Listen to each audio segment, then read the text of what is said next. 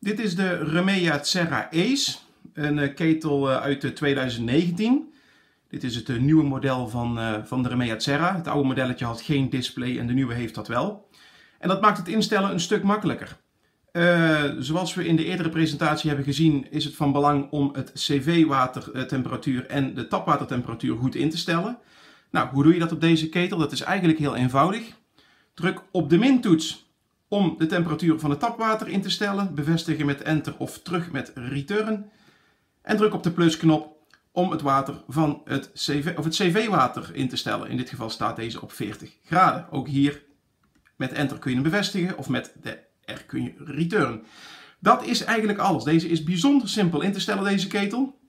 En één dingetje wat ook nog van belang is, is de uh, eco-stand voor het warme water. Hoe doen we dat? Druk deze twee knoppen tegelijk in. Ga naar het gebruikersinstellingenmenu. En zoek hier voor de optie DP200.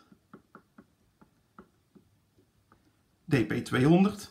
En deze moet op 2 staan. Dit is de eco-stand van de Remea Serra Dat staat wat ongelukkig vermeld in de servicehandleiding. In de servicehandleiding wordt gesproken over vorstbeveiliging. Maar dit is de eco-stand. Zo wordt deze ook uh, vermeld in, uh, in de thermostaat van Remea. Nou, dat zijn eigenlijk de belangrijkste instellingen van deze ketel. Verder is hij volledig modulerend, dus daar hoeft ook niks op ingeregeld te worden. Uh, dus tot zover.